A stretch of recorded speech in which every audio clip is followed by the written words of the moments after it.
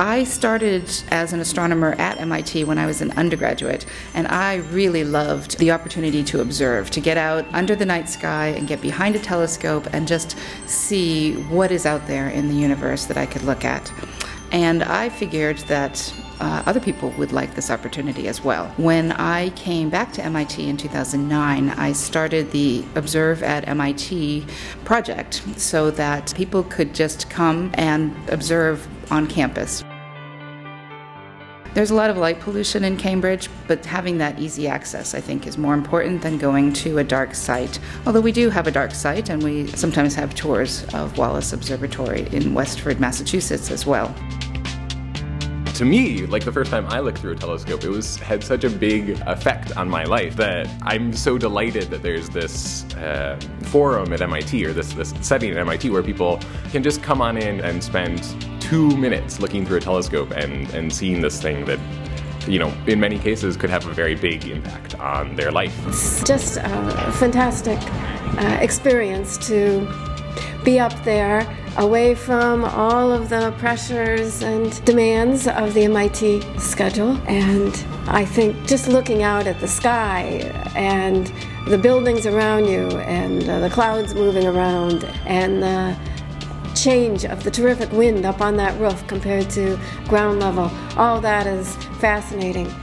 And I notice uh, in the dark, my students are uh, kind of wandering around, getting to know each other in a different way, maybe than in class time, and chatting with Amanda's assistants or Amanda.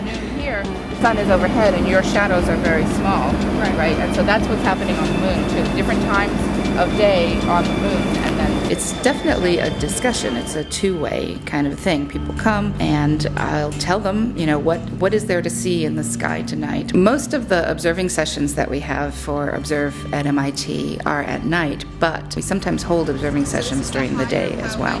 Right now, so we're zooming in on the sunspot. Oh, The first time you look at the moon through a telescope or look at the sun through a solar telescope, you see these levels of detail that are just so surprising and intricate and real that I think what that means is that at these observing sessions, you get people that keep coming back um, because they like that and they, they're, they're hooked on that experience of seeing this very cool view of our very nearby universe. But then you also get people who, who are just, you know, dragged along or, or, or wander on in because they're, they're interested in trying something new. And in fact, in one case, uh, a student of mine brought his girlfriend along to the observing session and she got so interested, she joined the class even though she wasn't uh, a regular student. I think a, a, a, goal that we should have is just get more people to look through a telescope. Getting a chance to look more closely at these things that are all around us bring, brings this extra complexity and beauty to uh, to the to the world, or I guess to, to the universe in this case,